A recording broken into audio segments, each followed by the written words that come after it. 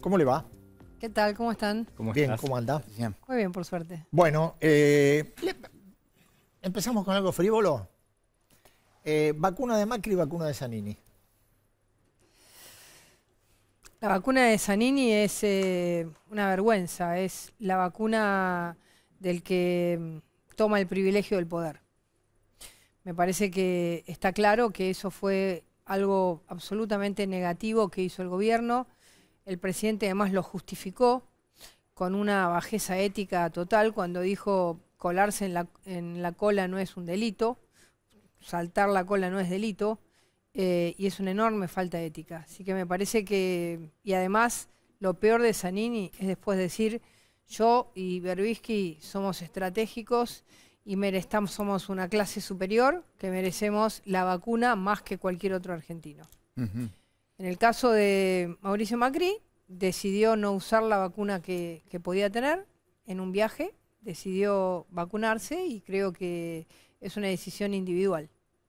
Usted en general eh, está de acuerdo con aquellos que, teniendo la posibilidad, obviamente, la posibilidad de pagarse el pasaje, de irse, de irse a vacu- va- vacunar al exterior, ¿usted con qué ojos lo mira?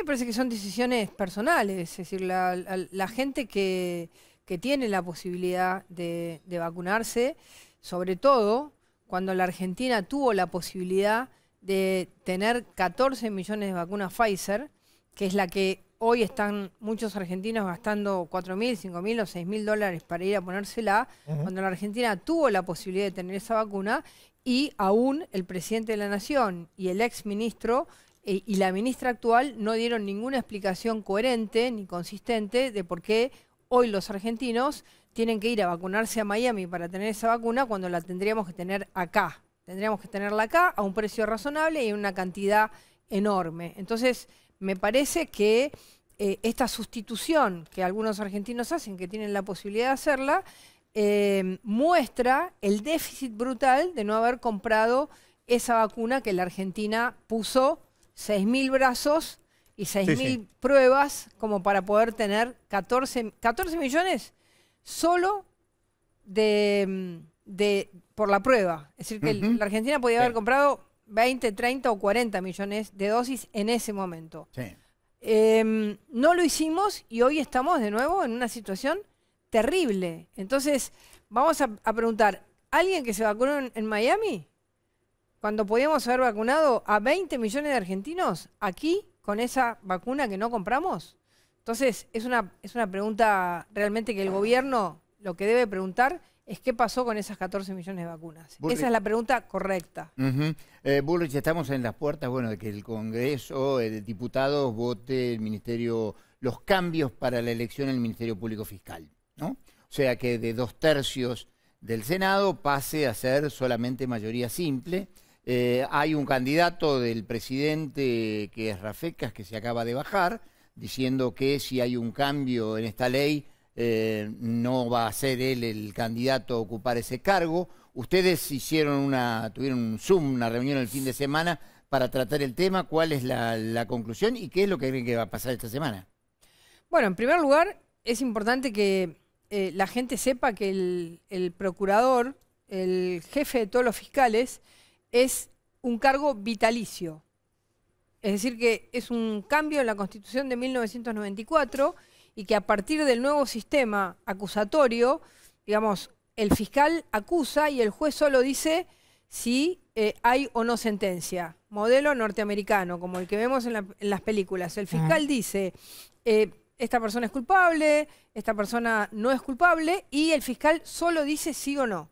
Con lo cual, eh, el cambio del sistema hace que esta, esta institución del fiscal general de la República, el, procurador de la Nación, pasa a tener un rol eh, importantísimo la libertad, la vida, eh, la lucha contra el narcotráfico, la corrupción, los secuestros, todos los delitos federales van a estar, el fiscal general va a poder decir si se investigan o no se investigan. Porque además la ley tiene una cláusula terrible que dice que el fiscal general le puede dar instrucciones a los fiscales particulares. Es decir, que el fiscal digamos, particular puede, no puede decidir si investiga o no una causa, sino que la investigación directamente se la da, el, el fiscal general dice si eso se investiga o no. Con lo cual, el camino a la impunidad está ahí. ¿Qué vamos a hacer nosotros? Bueno, primero explicarle a la sociedad y a todo el mundo que cualquier institución que dura de por vida y que tiene la importancia que tiene el fiscal general, del jefe de todos los fiscales, se tiene que elegir por mayorías eh, agravadas, por mayorías eh, muy importantes, como se eligen los, los, eh, los jueces de la Corte Suprema de Justicia. Esto, lamentablemente, no sé por qué la Constitución no lo dice. Por ejemplo, dice que el defensor del pueblo se elige con dos tercios. Y no dice que el jefe de los fiscales se elige con dos tercios. Quedó para una Tampoco ley. hay defensor del pueblo de la nación en estos momentos. No, tampoco lo hay. Tampoco pero lo hay. Esto quedó para una ley. Entonces, ¿qué quieren hacer? Es decir, esta, est- esto es justamente aquellos temas que se tienen que debatir y donde el oficialismo y la oposición tienen que juntos decidir quién es la figura ideal para ese cargo. No, pero Carrió ante eso había dicho, y lo dijo hasta el día de ayer en este mismo canal, vamos con Rafecas, pues eso era una especie de mal menor ante lo que algunos planteaban, pers- personas del kirchnerismo, por ejemplo como Graciana Peñafor, quien dijo que no va a ser. Ahora hay que ver si se abre de no- nuevo eso. ¿Ustedes no se pusieron de acuerdo en eso Eso no cuando es había una opción? es- eso no es cuando así. había una opción, Eso no es así, Ella lo no. planteaba, Rafecas. Bueno, pues un tema, ella planteaba Rafecas, pero Rafecas lo paró Cristina Fernández de Kirchner. Es cierto. no Juntos por el Cambio, porque ni siquiera llegó el pliego al Congreso, al Senado de la Nación. Ustedes recuerdan que cuando se eligió a, a Reposo y luego no, no, no, no Sí. fue electo, y después Gils Carbó, hubo una audiencia en el en, en Senado donde las personas tenían Sí. que exponer qué sabían y qué no sabían para el cargo. Bueno, esto ni siquiera se hizo, es decir, que ni siquiera ana- la comisión que, que trata este pliego ni siquiera comenzó el trámite. Es decir, que la que le paró a Rafecas a- al presidente de la Nación es Cristina Fernández de Kirchner. Ahora Rafecas dice, si me eligen a mí, me tienen que elegir tanto mayorías y minorías, es decir, oficialismo Sí, sí, y con la oposición vieja, con el viejo Con el- con el con el- esquema vi- Vigente. vigente. con el régimen vigente. Entonces, ahora el presidente de la Nación debería dar una orden clara al Congreso de la Nación de no votar esta ley. Porque si no, el presidente está hundiendo a su propio candidato. Entonces, cada vez, si él deja que esta ley pase, lo que está mostrando el presidente de la Nación es que cada vez es menos presidente y cada vez Cristina Fernández de Kirchner es más presidenta, Pero, perdón, porque ni usted- siquiera tiene la fuerza para defender a la persona que él propuso. Después nosotros podemos discutir en Juntos por el Cambio, si votábamos a favor o votábamos en contra, digamos, si era el mal menor o no. Pero el proceso lo tenía que hacer el oficialismo. Una vez que estaba ahí, quizás nosotros lo hubiéramos votado. Es decir, no se dio esa oportunidad. Entonces quedó como un- una discusión usted- no realizada. ¿Usted cree que todavía hay una chance de que se dé? A ver, yo lo que creo es que si el presidente de la Nación deja que esta ley se vote, eh, pierde su candidato y cae, digamos, a, un candidato del kirchnerismo, ya les, le bajaron la ministra de Justicia, eh, lo tienen rodeado a su ministro de Economía, eh, él no tiene ningún poder. Y si ahora le ponen el jefe de los fiscales y le sacan su candidato, la verdad es que el presidente de la nación, digamos, no tiene ninguna autoridad sobre nadie. Es decir, el presidente de la nación debería hoy decir, eh, decirle a la secretaria general de la presidencia, saquen ese, ese proyecto, ese proyecto no se puede votar. Porque eso significa que mi autoridad y Sí. mi candidato quedan destruidos. Eh, Bullrich, eh, hablando de Guzmán, eh, una de las condiciones que se dice que tendría la negociación con el Fondo eh, Monetario Internacional es que el acuerdo que logre el gobierno tendría que pasar por el Congreso. Esto es que tendría que tener el aval de, las cámaras. ¿Ustedes tienen alguna noticia respecto de eso? No, no, yo por lo menos no. Yo no estoy en el Congreso, quizás, eh, pero hasta el día de ayer que estuvimos en reunión de Juntos por el Cambio, nadie lo, nadie lo planteó. Eh, igualmente, acá el problema es sobre qué proyecto, sobre qué economía, porque el primer punto del acuerdo económico social, cuando se juntó el Consejo Económico Social, el primer punto era la Argentina tiene que exportar más. Y hoy acaban de cerrar la exportación de carne. Entonces, ¿sobre qué proyecto económico? ¿Sobre qué modelo de crecimiento? ¿Sobre qué eh, modelo productivo?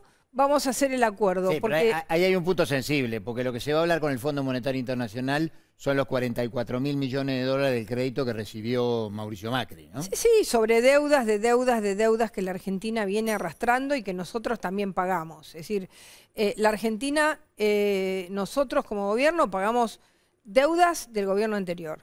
Después hicimos un acuerdo con el fondo y después hubo una, digamos, situación de devaluación enorme, porque nosotros dejamos el dólar a 40 y ahora está a 150. Entonces también veamos lo que pasó en este año y pico y qué significa en términos de dólares y en términos de exportaciones argentinas la deuda hoy con el fondo y lo que significaba cuando la dejamos nosotros.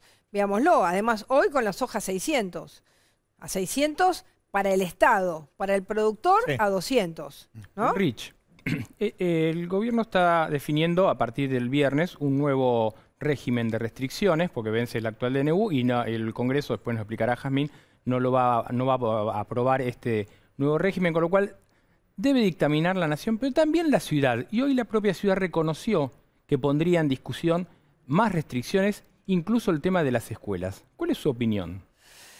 Bueno, nosotros desde el, desde el principio planteamos que tenía que haber un equilibrio, un equilibrio entre, entre cuatro elementos, que son la educación, la libertad, la economía y la salud. Eh, hoy tenemos destruida la economía, destruida la salud, destruida la educación, porque en la ciudad hay clases, pero no en todo el país. Eh, y la libertad, digamos, con esto que va a pasar en el Ministerio Público, empieza a estar entre paréntesis. Entonces ya está. El año pasado fue duro porque tuvimos muchos episodios. ¿Qué, qué creo? Que el presidente se fue a, arreglar el, el tema del Club de París. El presidente tiene que salir al mundo a traer vacunas para la Argentina, porque el año pasado, cuando se cerró todo y el presidente decidió con esa autoridad decir cierro todo, había 200 casos. Hoy tenemos 30.000 casos, pero tenemos un horizonte hasta ahora que nos dijeron van a venir 4 millones de vacunas, no se sabe cuándo vienen los, los vuelos de Rusia, la segunda dosis de la Sputnik no se sabe. Entonces, el presidente lo que tiene que hacer, en vez de irse a arreglar el, el Club de París, que lo podría hacer el ministro, es traer vacunas, porque hoy ya el mundo sabe cómo se sale de la pandemia del coronavirus. Está Se sale pregunto de la ciudad, porque la ciudad podría tomar bueno, la yo no decisión. sé lo que va a hacer la ciudad decisión porque hoy no hablé con la ciudad. La ciudad siempre ha tratado, dentro de, de- de- de que vivimos en un conurbano, de hacer, digamos, el, menos, el menor daño posible a la gente, a la economía y a la educación y a, y a la libertad ni hablar. Es decir, eh, ahora no tengo eh, hoy cuál es la, la- la decisión que va a tomar la ciudad. Eh, comparado a lo que ha hecho siempre Kisilov, que es tener todo absolutamente cerrado, lo que puede cerrar, No, bueno, eso, ¿no? lo que puede cerrar, porque la verdad es que eh, el problema que tenemos en la Argentina hoy se repite lo mismo que pasó el año pasado y que yo lo he dicho 20 veces, es que siempre corremos el arco, volvemos a cerrar. Pasamos a tener 30.000 casos, después tendremos 20.000. Después se vuelve a abrir. La gente, ¿qué le van a dar a la gente? ¿Sueldo? ¿Le van a cuán- cuántas empresas vamos a perder ahora? ¿Cuántos trabajos vamos a perder? ¿Cuántos chicos, cuánta cuánta salud mental de los argentinos vamos a perder en un nuevo cierre total? ¿Y qué vamos a ganar? ¿Algo en salud? Hasta ahora hemos, hemos demostrado que la cuarentena eterna no nos mejoró la salud, nos la empeoró. Con lo cual, eh, lo único que el presidente tiene que tener como obsesión total y absoluta es traer vacunas, que se vaya a traer vacunas, que hable con todos los laboratorios del mundo. Eh, hasta, hasta Matías Almeida, que es futbolista, quiere, consiguió una manera de traer vacunas, no futbolista, director técnico, Sí. perdón, consiguió una manera de traer vacunas para azul y le dicen, no traes ninguna vacuna para azul. ¿Por qué? A ver, ¿por qué? Es decir, ¿por qué esta, esta cerrazón? ¿No? O las traemos nosotros o no las trae nadie. Y ellos tampoco las traen. Entonces, estamos en una situación terrible, porque ya la gente se va a encerrar y ¿de qué va a vivir? ¿De No, bueno, eso, eso le quería, ¿De le qué va a decir. vivir? En la hipótesis, que es una hipótesis bastante aproximada, por lo menos por lo que ha- se ha comentado hoy y ha trascendido hoy, que se podría hacer, quizá no un cierre como el del 20 de marzo del año pasado, pero mucho más restrictivo. La pregunta que uno se hace es, primero, si eh, la sociedad en su conjunto hoy tiene capacidad para responder a esa demanda del poder. Segundo, si eso no ocurre, ¿cómo se ordena? Digo, el otro día todos vimos que 20 personas cortaron las vías del tren de Ferrocarril Roca y miles se agolparon en Constitución. Yo no sé cuántos contagiados puede haber habido ahí, pero lo que se llamó mucho la atención es que no había fuerzas de seguridad. De Pero ningún que tipo. todos los días hay marchas en el Bueno, en el hoy hubo por el tema de Medio Oriente. Todos los días hay marchas, todos los días dejan que eso pase. Es decir, eh, todo aquello que les puede traer un conflicto político, el gobierno lo deja. Si son, como, como se llaman, eventos súper contagiadores, no les importa. Siguen con esos eventos súper conta- contagiadores. Empezó con Maradona, todos los días, todos los días hay piquetes en el centro de la ciudad de Buenos Aires. Los pobres comerciantes que ya no trabajan porque no hay nadie en el, en el centro, además no trabajan porque todos los días hay cortes. En el puente Pueyrredón el otro día eh, había Sí, sí. 20 personas, el Ministerio de Seguridad no estaba. En el corte de, de vías, que es un tema federal, tampoco estaba ni la policía de la provincia, ni la policía eh, federal, ni el Ministerio de Seguridad, porque no es un tema de las fuerzas, es un tema de que ellos deciden políticamente no querer pelearse con, eh, con nadie que rompa la cuarentena que sea de su lado. ¿no? Entonces, es como decir, seguimos generando eventos súper contagiadores y después decimos, cerramos las clases. Es decir, arruinamos a, a lo que, a lo más importante, que es la educación, la arruinamos, porque eso sí es fácil de controlar, porque una escuela no abre, no Mm. abre. Mm. Y dejamos que haya todos los días marchas, piquetes, eh, y además, la, la gente que tiene que ir a trabajar en auto porque no, no puede usar el transporte público, se, se pierde, digamos, horas y horas y horas en estas situaciones. La verdad es que es como que la angustia social va creciendo porque todo es difícil, todo es terriblemente En, eh, en es- duro. en este sentido, en este sentido, le voy a hacer una pregunta que se comenta en las mesas de café al aire libre de las pocas que hay. Eh, ¿Usted cree que el gobierno puede usar la pandemia para que no haya elecciones a fin de año? Bueno, a ver, sería total y absolutamente inconstitucional, pero este gobierno es capaz de hacerlo.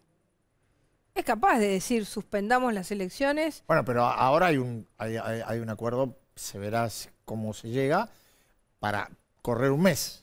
Bueno, a ver, pero eh, los próximos diputados y senadores tienen que asumir el 10 de diciembre. Sí. Ahí se renueva la mitad de la Cámara y el tercio de los senadores. Esa es- ese es el, el- el deadline, esa es la fecha última eh, para que nuestra democracia siga su canal normal y para que haya equilibrio, porque nosotros pensamos que el equilibrio en el Parlamento y en la posibilidad de que Juntos por el Cambio tenga más diputados y senadores para no estar contando votos como estamos contando ahora eh, en el Ministerio Público Fiscal para que no haya, eh, digamos, para que no haya quórum y no se vote una aberración contra la justicia independiente, eh, digamos, la suspensión de las elecciones sería impedirle a la sociedad esta necesidad de eh, poder pelear por la por el equilibrio que nuestra democracia necesita, ¿no? Bueno, habiendo- vamos a suponer que hay elecciones, porque aparte es lo que corresponde. ¿Vamos a ver en estas elecciones a Patricia Bullrich candidata a diputada nacional por la Ciudad de Buenos Aires?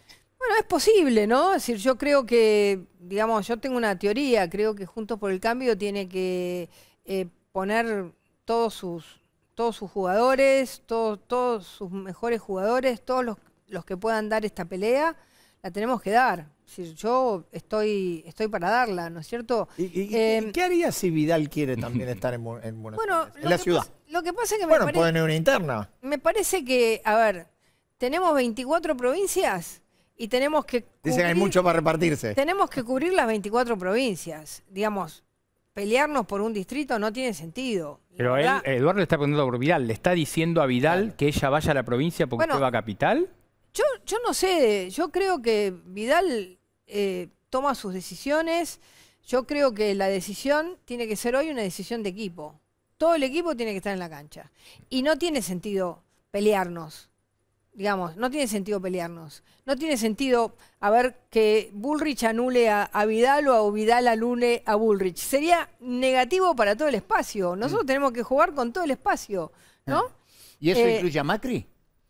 No, Mauricio ha dicho que él no, que, que él siente que él no está para ser diputado y me parece que eh, es correcto su rol, su rol de, eh, digamos, de alguna manera, de quedarse en, en- en un espacio de eh, opinión, de, de ayuda, eh, que es el que él, él ha decidido y me parece bien, porque los expresidentes cuando van a la Cámara de Diputados o al Senado, se sienten mal. El otro día tuve una conversación muy interesante con Sanguinetti y me dice, estoy re contento de haber renunciado al Senado. fue, claro. Porque ya no, no, y, y también Mujica. Mujica los dos juntos. También renunció Alfonsín, ¿no? Es decir, Kirchner fue una sola vez a la Cámara de Diputados. Es decir, que alguien que fue presidente eh, es como que ya pasó una, una frontera como para volver, y más ahora que en la Cámara, Ahora, dígame, las cámaras hay bastante chiquero, ¿no? dígame y, y usted está de acuerdo, por ejemplo, en, en- en la construcción de la pata peronista adentro o afuera de Cambiemos? Yo creo que nosotros en Cambiemos ya tenemos un montón de gente que viene del peronismo y todo aquel que comparta nuestros valores, que sea republicano, que crea en la democracia, que crea realmente en los valores que nosotros representamos, eh, están las puertas abiertas. Eh, tiene que creer en los valores, no tiene que, ser una persona que, que realmente nos quiera llevar a nosotros al- a la lógica o al modelo de poder del peronismo, que es el que nosotros venimos a combatir. Ahora, así como vino Pichetto de, vice, todo aquel que pueda compartir esos valores, nosotros estamos totalmente abiertos. Peronistas, eh, liberales, eh, distintos sectores que pueden participar de Juntos por el Cambio. Eh, Bullrich, um, la elección es también muy grietosa. Pareciera que eh, todas las encuestas dan que la grieta está permanente y que el tema es de un lado Cristina Kirchner, del otro lado Macri y esa es la vía que hay que transitar. A ver, yo no, no creo que la grieta sea de un lado o del otro. Nosotros no somos parte de la grieta. La grieta es un modelo de construcción política que inventó el kirchnerismo para armar un enemigo permanente. En un momento son los periodistas, en otro momento son los jueces, en otro momento son los políticos opositores, en otro momento son los empresarios. Siempre Bueno, pero usted lo escuchó recién a un hombre de la provincia de Buenos Aires decir que ustedes son el odio y ellos el amor. Bueno, esa es la grieta. Digamos, la grieta es convertir al otro, eh, digamos, en un, digamos, en algo que no, no puede estar dentro del mundo democrático, porque el que odia no está dentro del mundo democrático, ¿no? Entonces, esa es la grieta. Decir, nosotros somos la patria, los buenos, y ellos son el enemigo, los malos, los que hay que borrar del mundo. Es muy peligrosa la grieta y el concepto de la grieta. Y ese concepto de la grieta es un concepto que ha traído en la humanidad, digamos, las peores masacres. Es decir, porque esto no, no, no es nuevo, no es la CLO. Esto es Carl Schmitt, de acá nacieron la- la- las- los, los peores sistemas de la idea de la superioridad. ¿no? Nosotros somos superiores y por eso te podemos imponer las ideas y tus ideas son una porquería y vos ni siquiera sos una persona. Esa es la grieta. Nosotros no, so- no tenemos nada que ver con eso. Nosotros somos democráticos, creemos en la república, creemos en que eh, lo que no se puede hacer es querer discutir por fuera del contrato social que tiene la Argentina, que es nuestra constitución. Eso es lo que nosotros creemos. No se puede querer llevar a la Argentina a, eh, a, un, a un lugar en el que el otro no tenga cabida. Para nosotros, todos los argentinos tienen cabida. Y nosotros, en nuestro gobierno, fuimos, eh, di- diría, buenos, y en algunos, en algunos casos uno podría decir demasiado buenos demasiado buenos. Como que tendríamos que haber sido un poquito más estrictos para poder conseguir más cambios de los que logramos. Bullrich, gracias por estar esta noche. Muchísimas ¿eh? gracias. Muy. Gracias, ¿eh? Muy amable. gracias. Nosotros volvemos. volvemos. a nuestro A la barra. reducto, a la barra. A la barra. Efectivamente, que no es la barra brava, ¿no? Yo la barra ¿O es tengo- brava? tengo un matecito cocido en la barra. ¿Es brava la barra? No, no, no. Ah, no, qué no. Somos gente, somos seres de luz. Bueno, vamos a arrancar, vamos a entrar un poco con el tema.